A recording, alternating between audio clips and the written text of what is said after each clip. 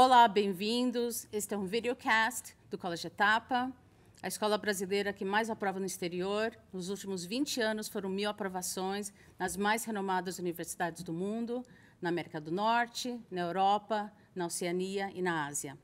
Para trazer mais informações para vocês que têm interesse em estudar fora, convidamos alguns ex-alunos para, falarem sobre o seu processo e a candidatura.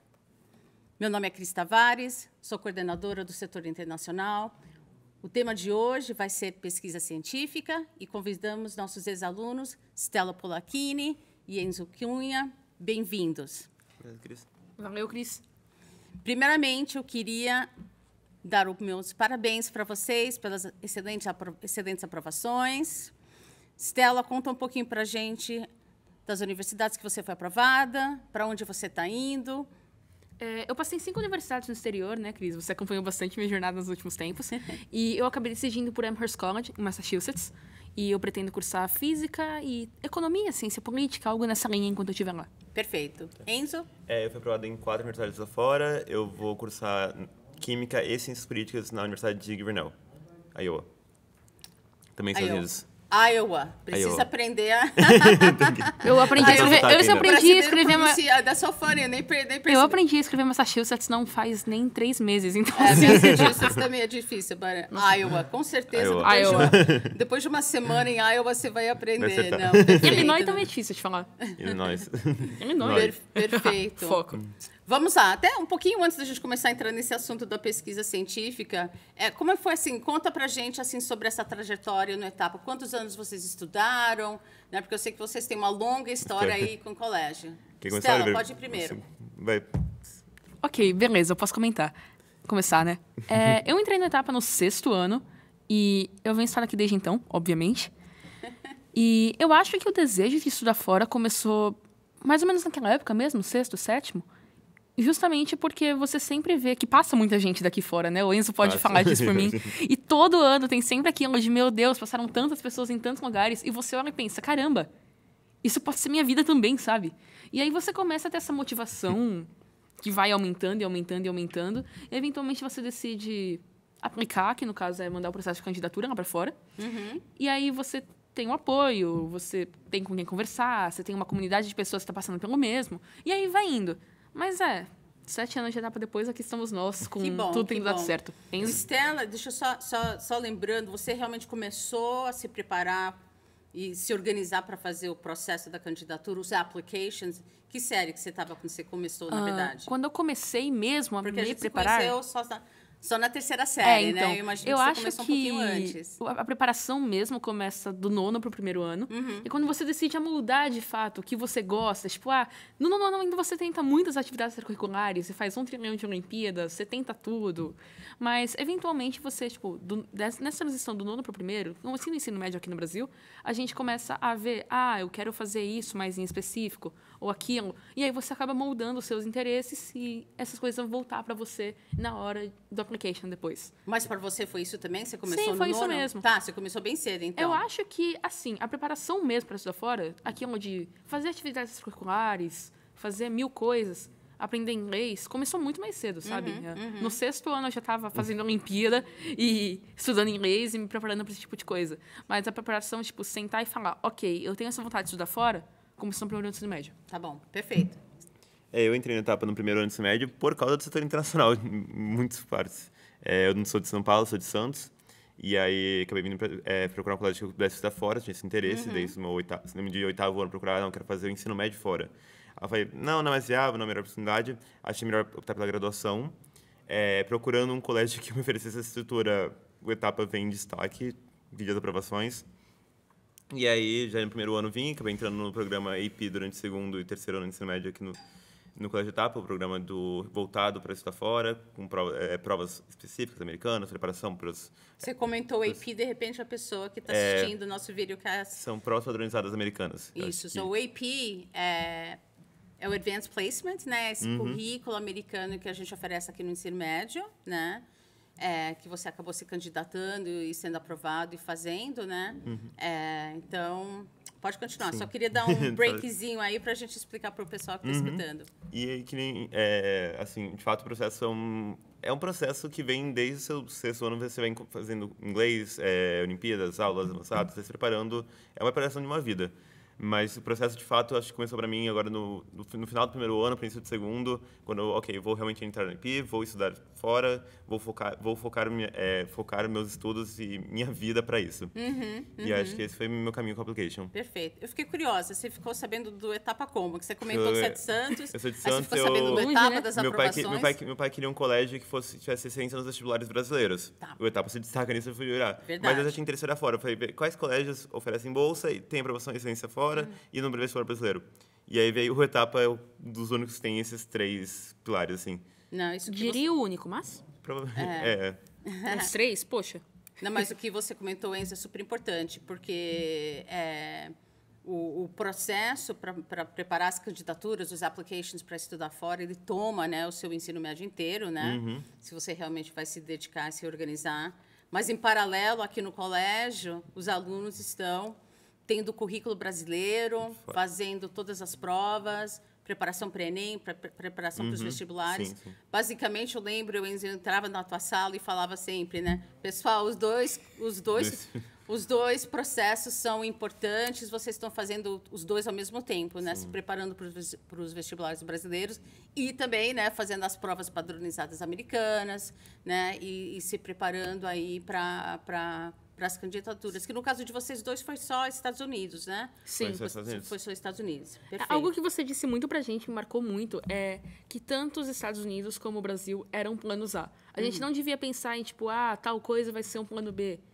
Porque ambas as opções são excelentes, sabe? Uhum, não importa uhum. se você vai para lá ou se você vai ficar aqui, você vai ter muita coisa muito interessante para fazer e que a gente devia levar as duas coisas a sério. Eu acho isso muito importante, não, muito importante não, mesmo. Eu falei isso muitas vezes. Não, que bom, Sim. que bom, que bom. Marcou muito, Cris, não faz ideia do quanto. que bom que marcou, que bom que marcou. Não, né? Eu acho que isso que é o eu acho que isso que é assim a super mega vantagem, né? Você chega no final da terceira série, você está se candidatando para fora, você está prestando os vestibulares brasileiros mais ou menos na mesma época do ano, né? uhum. né? Finalzinho do uhum. ano, janeiro, fevereiro, depois que você se forma, você está tendo as respostas, né? Uhum. E aí você consegue ver, né? Onde foi aprovado fora, onde foi aprovado aqui no Brasil, e aí, né? Com a família, né? Com a gente, né? Às vezes até ajudar vocês aí nessa tomada de decisão. Bom uhum. saber, bom saber que vocês estavam escutando. Vamos lá, vamos entrar mais no assunto Sim. agora, que é nosso nosso tema de hoje, que é pesquisa científica, né? Bora. E eu convidei vocês até para esse tema porque eu sei do histórico de vocês, eu sei do quanto que vocês se dedicaram aí às Olimpíadas, às Olimpíadas nacionais e internacionais. Aqui a preparação no etapa que acaba sendo, né? É, um começo aí de, de, pesquisa, de iniciação científica, né? Enzo, vou começar por você Sim. primeiro. Conta um pouquinho para a gente sobre é, como, como é, o teu envolvimento aqui na etapa com, a, com as Olimpíadas acabou te dando aí um, uma introdução à pesquisa e tá, uhum. fala um pouco sobre pesquisa na tua vida no, na tua vida no ensino médio. Uhum. Eu acho que assim, é, as Olimpíadas são uma base para você conseguir entrar no mundo da pesquisa durante o ensino médio e depois do ensino médio.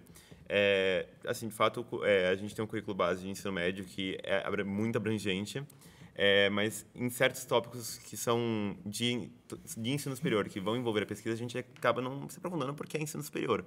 E aí, como as Olimpíadas vão explorar por natureza, tópicos mais avançados na química, na física, é, na biologia, em qualquer área, é, se cria uma base para o aluno para ele poder conseguir entrar nesse mundo de pesquisa. Eu já fiz, durante uma parte do ensino médio, estou fazendo hoje ainda pesquisa na área da química, foi a Olimpíada que mais, mais me envolvi nesse médio, é, fazia mais de 10 aulas por semana de química, é, então eu tendo muito contato com essa área. Eu, particularmente, tenho interesse na parte de química orgânica. Durante o ensino médio, eu fiz um projeto de pesquisa com o professor ainda mais no sentido acadêmico, é, acadêmico não pedagógico. Então foi uma classificação da, fiz uma, é, uma pesquisa em relação à estrutura de Olimpíadas, como elas funcionam, como é que é, como variam os tipos de questões dentro das Olimpíadas de Química. E no, é, agora no período nesse intervalo entre eu ir para fora e eu ficar e eu me formar, eu acabei é, aproveitando um pouco o tempo livre para uhum. usar, para fazer uma pesquisa agora com em orga, é, química orgânica com selênio é, na USP e Mas é uma oportunidade que eu só tenho por causa das Olimpíadas, por ter esse preparo. Porque ao longo do ensino médio eu já cursei o que seria, por causa das Olimpíadas, o primeiro e boa parte do segundo ano da faculdade. Então eu já tenho a base para fazer uma iniciação científica no laboratório, de pesquisa de verdade. É, eu acho que esses são os fatores assim, que, da, da Olimpíada que me jogaram para frente nesse ponto. Você tocou num assunto importante, laboratórios. Laboratório. Como foi o uso dos laboratórios aqui do Etapa? Que eu sei que a gente Assim, temos vários temos- Uhum. laboratórios, com todo equipamento, né? Né, A estrutura, É. a estrutura do laboratório da etapa é impecável. A gente tem é, espectrofotômetro, que são aparelhos mega complicados e complexos e que Não assim, consigo nem pronunciar essa palavra. e que a gente só não, geralmente não tem no laboratório normal do ensino médio. E o- a etapa dessa estrutura, oferecer para os alunos de Olimpíada, é, traz uma realidade diferente, né? Porque não é você olhar e falar, ah, existe isso, esse aparelho em laboratório de faculdade, que é o que geralmente a gente vê é, em outros colégios. E agora você está aqui na sua mão, você mexendo nele, ele se torna mais real, torna mais prático e é, é- é mais didático o laboratório, né? Pensando para o aluno, você está tipo, ok, eu sei mexer nisso, é assim que funciona. É assim que funciona uma cromatografia. E essa, isso ajudou muito no desenvolvimento, foi algo que, eu- que eu, eu particularmente gostava muito do laboratório. Eu ficava, eu chegava a passar sextas-feiras à tarde, antes da pandemia, eu lembro de tipo, entrar no laboratório às 14 e sair às 18 quando o professor estava trancando a porta. Que E eu legal, fazia aula legal. do aprofundamento de química, do iniciante de química, ficava fazendo experimento sozinho depois.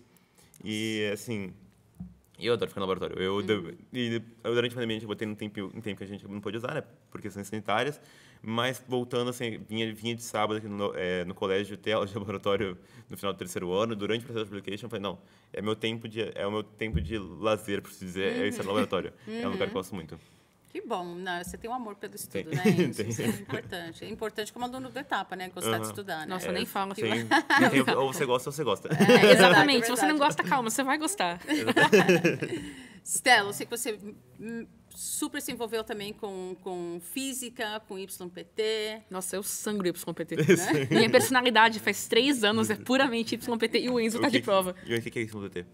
Ai, meu É. Deus, lá vamos nós. Explica É, assim, YPT. Primeiro, A sigla. Beleza. Sigla, eu já explica- quero pedir explica a desculpa a quem estiver assistindo isso daqui, porque talvez eu vá me empolgar muito. Então, me interrompa se eu falar demais, por favor. Pode deixar, então. É, YPT é um torneio internacional de física experimental. Ou seja, a, de fato, a prática. A gente faz pesquisa, a gente faz apresentação dessa pesquisa, a gente defende como se fosse uma tese, a gente escreve relatórios, que são como artigos. E assim vai. E chama YPT mesmo, é International Young Physicists Tournament, que é Torneio Internacional de Jovens Físicos. É, ano passado, eu tive a honra de ser capitã da equipe que venceu o torneio nacional. Foi o melhor dia da minha vida, facilmente. E, basicamente, nossa, eu não sei nem por onde começar. Eu comecei. na- aliás, quando foi que você começou? Ah, eu comecei na física no sexto ano. Eu comecei na física no sexto ano, Tá. logo que eu entrei na etapa. Física e astronomia no geral. E logo que a gente entra aqui, eles mostram pra gente, tipo, alunos que foram pras internacionais. E tinham duas internacionais muito grandes na época, que eram a International Physics Olympiad, que é a IFO, que é a Olimpíada Internacional de Física, e a YPT, que é essa que eu comentei agora. E eu olhei pra YPT e falei, cara, eles estão lá colocando a mão na massa. É isso que eu quero fazer. Corta quatro anos, chegamos no primeiro ensino médio, eu comecei em agosto, e eu meio que não saí nunca, né? Porque eu ainda colaboro, tipo, eu me voluntario para ajudar as equipes atuais de YPT. Eu. A gente acabou indo para internacional, a gente ganhou o torneio nacional, fomos para internacional. Então eu estava aqui fazendo coisa também. O Enzo sabe que mi- minha vida é muito dedicada a YPT e é a coisa mais legal que eu faço no geral.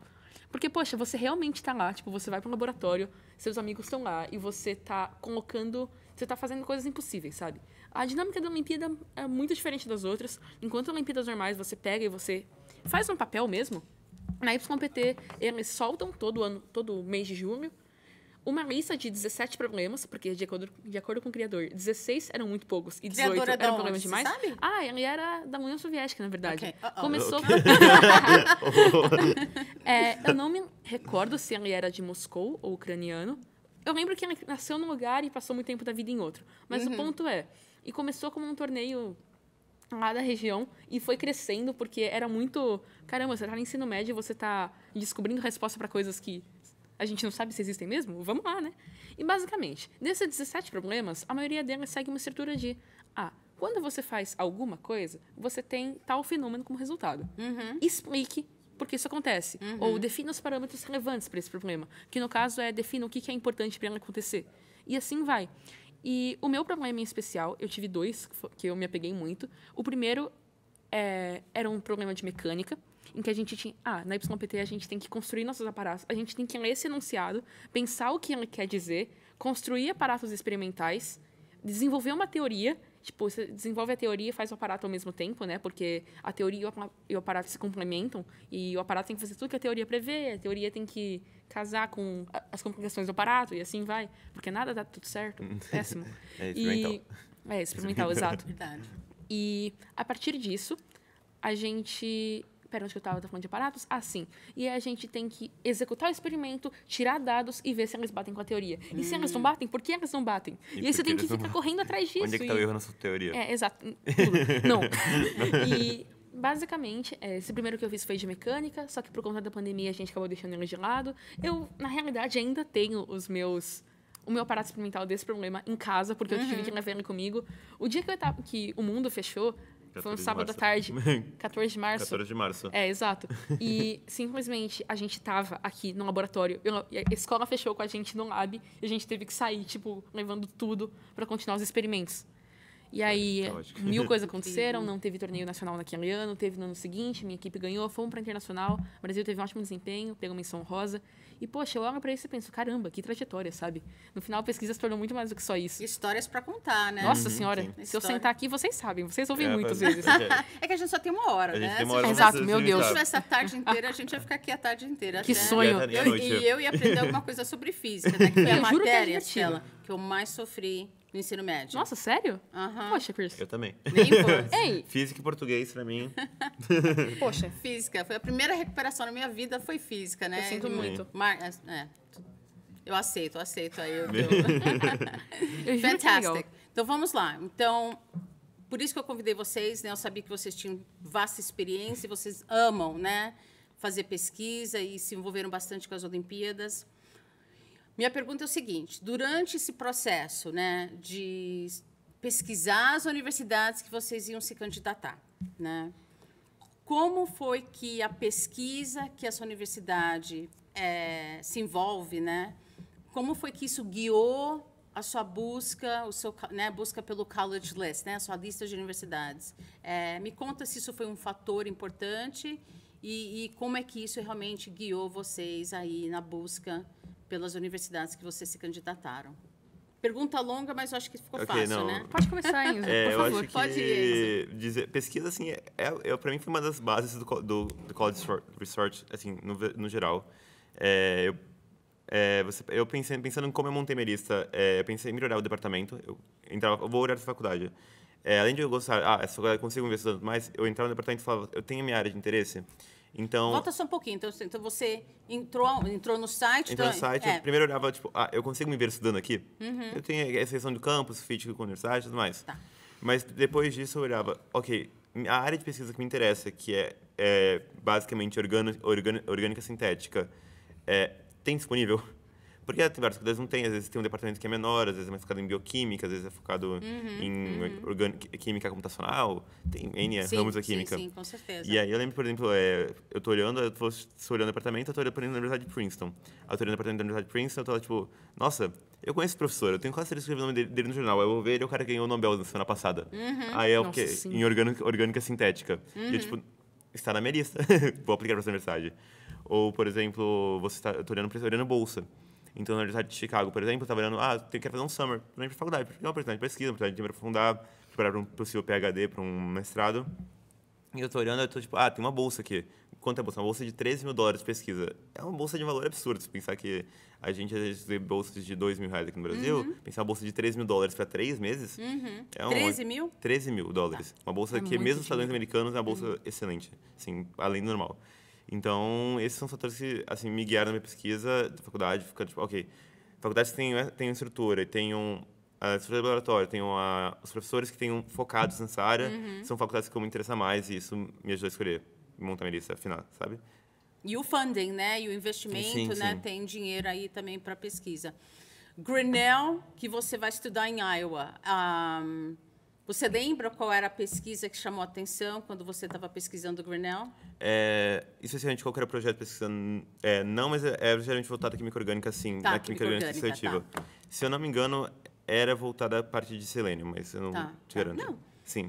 Sua vida vai ser trabalhar com selênio mesmo, né? Nossa, é pra é. ser. É. E você, Stella? Nossa senhora, isso vai ser longo. Lá vamos nós. Pode ser mais ou menos longo, não tão longo. Não, né? Relaxa. brincando. Ei! Longo. É, eu acho que foi a coisa mais importante quando eu definia, né? Assim, de todas as universidades que você vai ver, poxa, Estados Unidos tem 4 mil instituições de ensino superior, tem um trilhão de coisas para você ver e fazer. Então, uma coisa que eu levava muito a sério era ver quanto de bolsa eles podiam me oferecer para poder estudar lá. E com certeza absoluta o que eu poderia fazer quando eu estivesse lá. Eu quero seguir carreira acadêmica em física, né? Vocês sabem. E eu queria muito poder já começar a levar pesquisa muito a sério. Tipo, não que eu não levasse no ensino médio, mas de fato começar a me engajar cada vez mais agora na graduação para poder ir direto para o doutorado. E aí poder pesquisar minhas próprias coisas. E das universidades que eu passei, eu acho que mais se destacaram. É, em Rice, eles têm projetos de biofísica muito legais. Por exemplo, tentar encontrar formas de cura para o câncer através da física mesmo, de uma abordagem mais Uau. interferir em doenças com o que a gente pode fazer de legal. E Vanderbilt e Amherst têm algo muito em comum. Eu preciso parar. Comentário, eu preciso aprender a parar de falar Amherst com H, porque eles não falam com H lá. Amherst. Amherst. Yeah. É que nem Yes. Iowa. You're gonna learn, né? Você vai aprender a falar o Amherst. Amherst. Only the H E, is silent. e, e o Iowa. Exato. Eu também com- cometo esse erro. Não, de não é o exatamente H. um erro. Tá Pra que, que certo. tem esse H aí também, Não, né? é que assim, tá certo. É que os locais falam sem o H, mas tecnicamente todo o resto do mundo fala Ah. Amherst. O Amherst. que faz sentido. Amherst. Oh, wow. Amherst. Linguística. E vamos lá. É, linguística. E aí, é, tanto Vanderbilt como Amherst tinham programas muito legais de física de partículas, que é a área que eu quero seguir. A rigor, eu quero seguir plasma ou partículas. E, assim, um trilhão de coisas para fazer, um trilhão de coisas para ver. E eu acabei escolhendo Amherst em especial, porque eles têm um foco muito grande em ensino na graduação.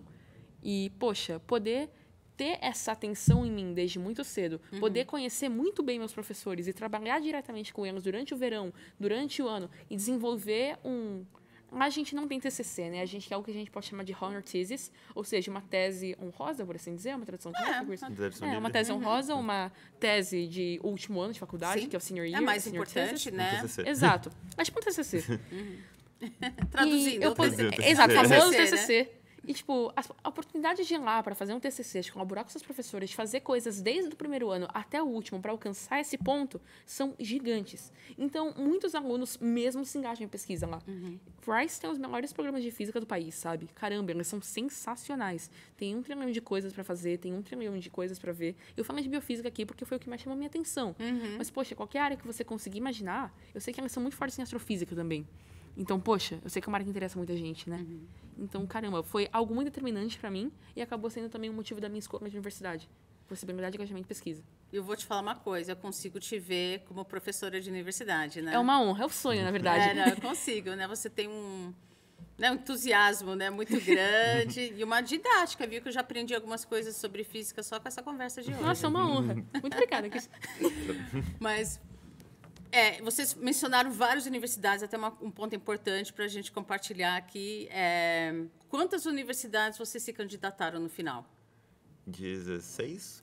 Você passou em exatamente um quarto das que você. Foi você 25% prestou. de aprovação. E eu também. excelente. eu- mesma coisa pra mim. Um 25. quarto, 20 sobre 4? Você se candidatou a 20? 20. Tá. Sim. Cinco Foi bem 20. cansativo. Não repitam, por favor. Gente, É, sério. não. não. Não, não. É, o que a gente, assim, como orientadora aqui da etapa, né, os nossos, os nossos college counselors, né, a gente sempre, por conta da competitividade, né, Uhum. das universidades americanas, né, é, a gente sempre recomenda se candidatar para pelo menos 10 ou Sim, 12, né? Sim. Vocês se candidataram a mais, né? Aham. É, por que não, né? Por que não? Porque eu lembro que vocês estavam bem organizados, né? Começaram cedo, né? Você, Enzo, você ganha o prêmio de, de aluno mais organizado durante esse Ei. processo. Você sabe que ela roubou uma planilha minha e começou a vender para as pessoas, né? Você tem plena consciência disso. tudo bem, bem, tudo bem. Mas o Enzo tinha aquela pasta ali. Nossa, a pasta do Enzo, a Ele famosa pasta do colocava as redações, os essays, colocava o logo né, na folha. Mas, né, até tocando nesse assunto de organização, né? A gente está falando de pesquisa, vocês acabaram pesquisando bastante, né? Para chegar na lista de universidades que vocês queriam se, queriam se candidatar, muito focado, como vocês falaram, em, em- em iniciação científica, né? acesso aos professores, acesso a, a investimento né? na pesquisa. É, mas sem organização, Não, não tem como. Nossa, não teria dado vocês não jeito. Não teriam como. conseguido. Você não termina o processo, Né? você Vocês não fica- teriam conseguido se candidatar a tantas universidades e ter tido tanto sucesso também, né? Então, eu lembro, assim, planilha Excel. A minha né? planilha principal Aquele de candidatura tem, tipo, gente- Uhum. 15 abas. De... E começa bem no quando- definição de quais faculdades que eu ia tentar e vai até a decisão pra onde que eu ia. Foi bem fofinho. Pode falar, perdão te interromper, Chris. Não, não, não, não tem problema, não tem problema. Eu lembro que você estava organizada também, mas é, o Enzo realmente se destacou. eu escrevi sobre a sua pasta na minha carta de recomendação, Oh, que né? fofo. Porque não, organi- e tudo isso que vocês aprenderam durante o ensino médio, aqui se organizando, né, é, pra- em, em preparação para as candidaturas, organização vai ser fundamental também quando vocês chegarem, né, na, na Amherst e, e na Grinnell, porque o a carga né, de aulas, de homework, né, lição de casa, de papers, né, então é, o, a, o- a educação nos Estados Unidos né, é muito focado em leitura antes da aula, leitura depois da aula, muita entrega de, de, de papers, né, de, Claro. de lição de casa, né, Trabalhos, de, de no geral. trabalhos que vocês vão ter que fazer, né? Aqui no colégio, eu acho que até o ensino brasileiro é muito mais focado em prova, né? Nem tanto em lição de casa, né? Pelo menos aqui no Etapa, É. Aqui né? no Muitas Etapa, provas, especialmente, focado né? em prova. São aí. provas que, que prepararam vocês, Sim, né? fato. Sim, então, de foi, fato. né? Sim. E até isso, isso é o motivo pelo qual as universidades entendem que vocês estão preparados para encarar o rigor, né? Vocês Uhum, estão indo para universidades de extremamente renomadas, né?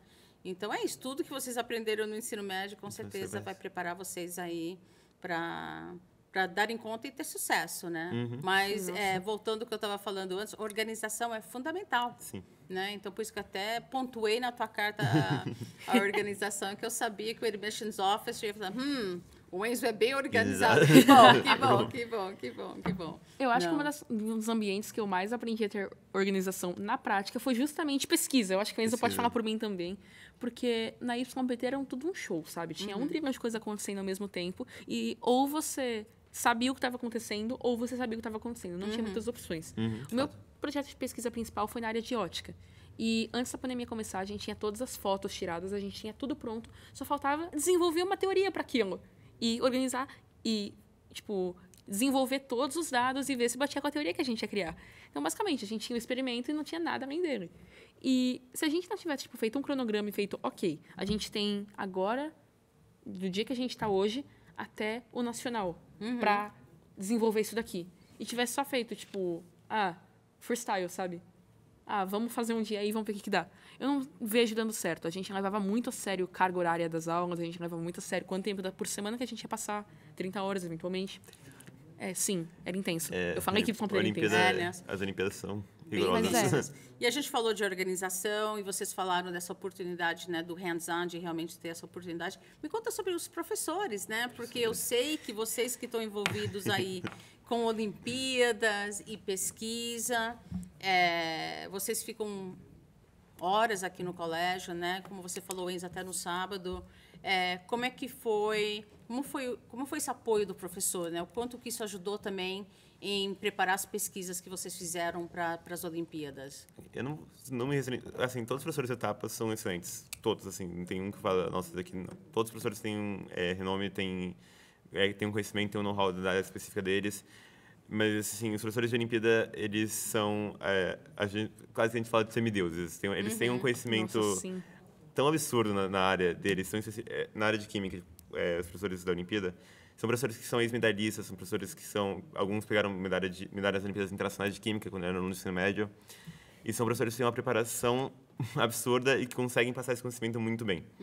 É, alguns professores são doutores também na área de orgânica, outros são medalhistas, mestrados e tudo mais. E não só isso, eles são muito receptivos. é, eles, você cria uma, quando você está na Olimpíada, quando você passa tipo, 10 horas com a mesma pessoa numa sala, você cria uma relação muito íntima com a pessoa.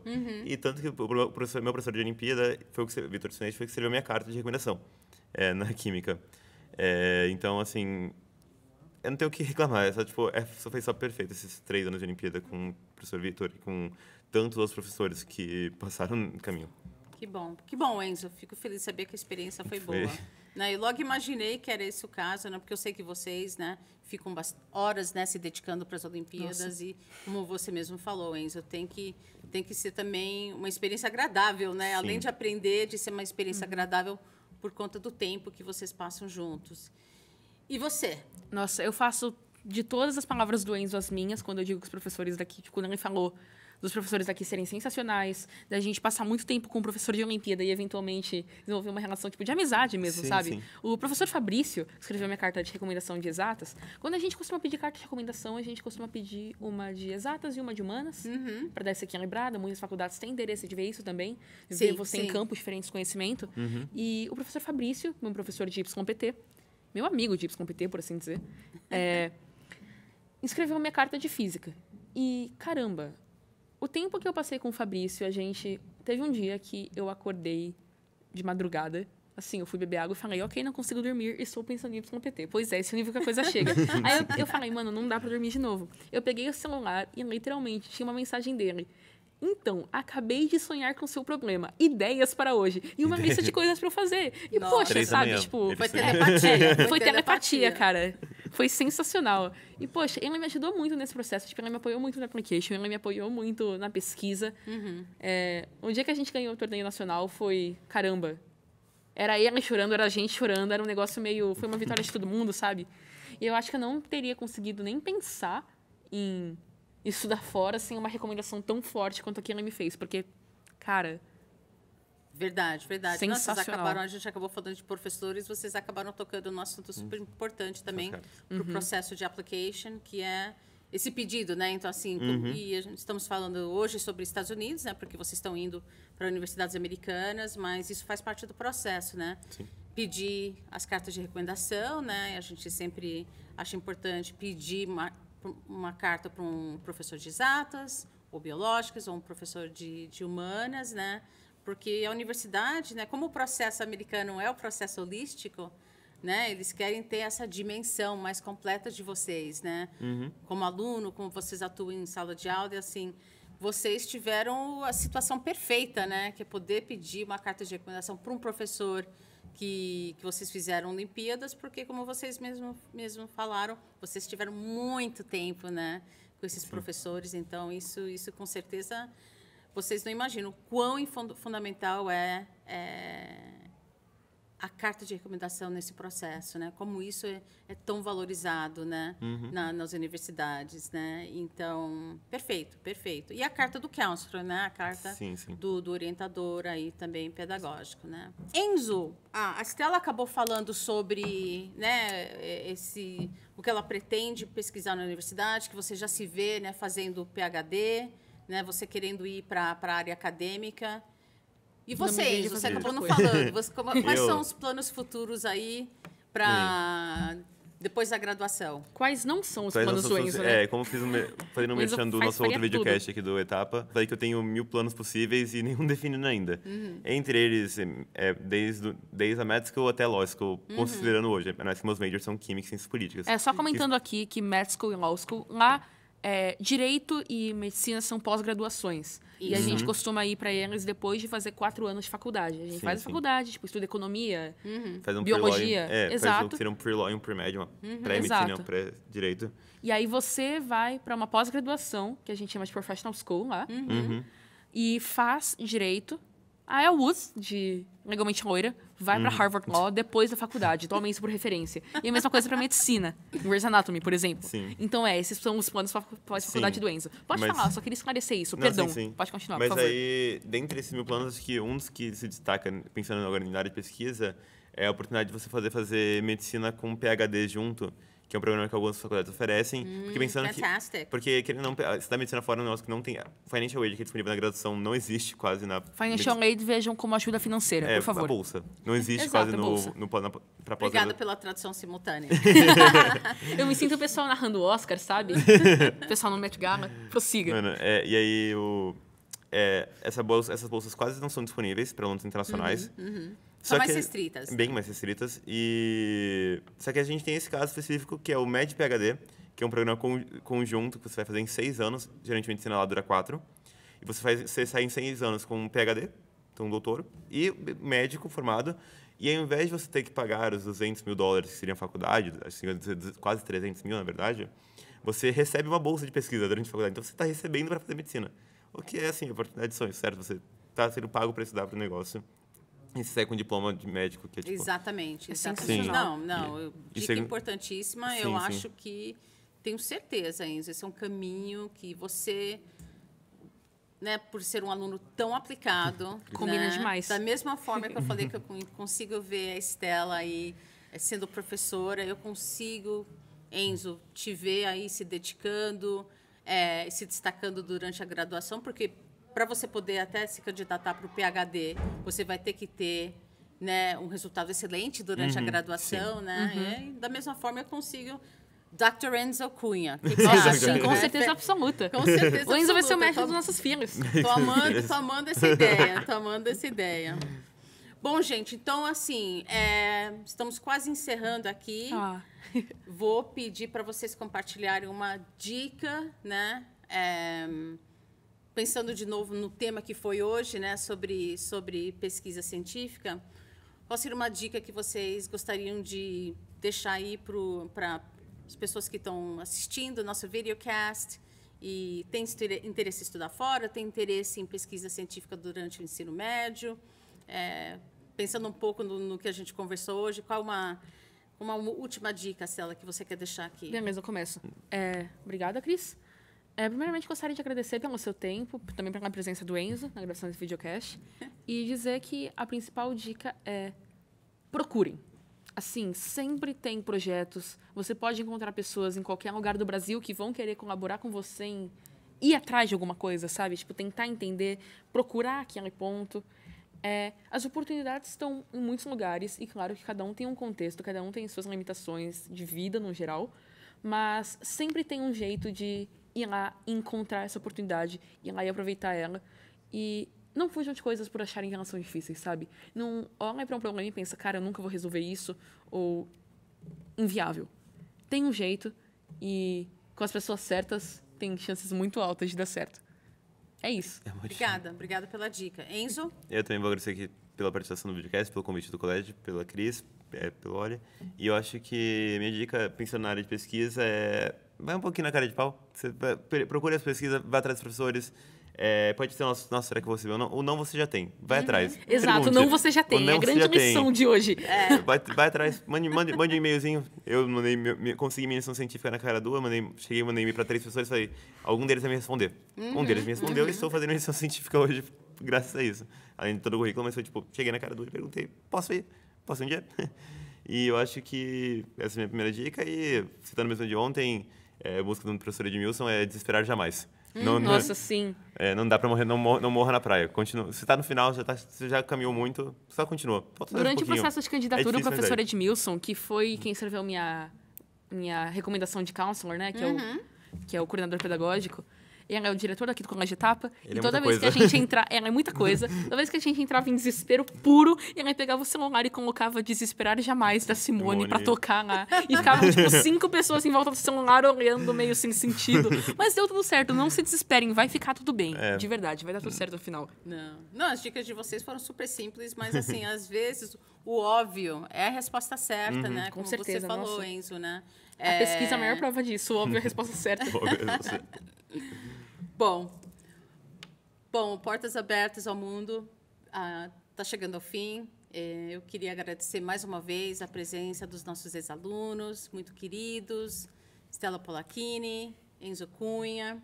Ah, espero que o videocast de hoje tenha sido extremamente esclarecedor, esclarecedor. Eu acredito que ele tenha sido sim. E para quem, pra quem quiser saber mais sobre o processo para estudar fora, tem muita informação no site do Colégio Etapa, nas nossas mídias sociais. E, e é isso, agradeço e tchau para todos.